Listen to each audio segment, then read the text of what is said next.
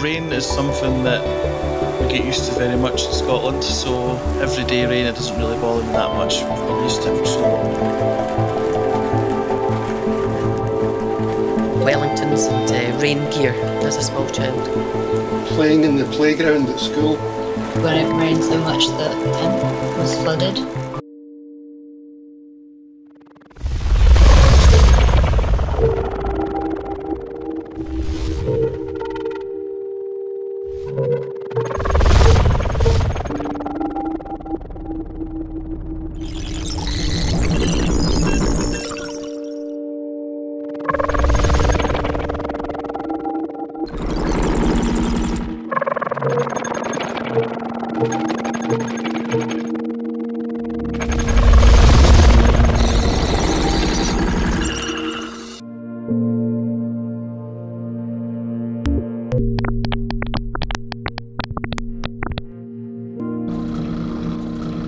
you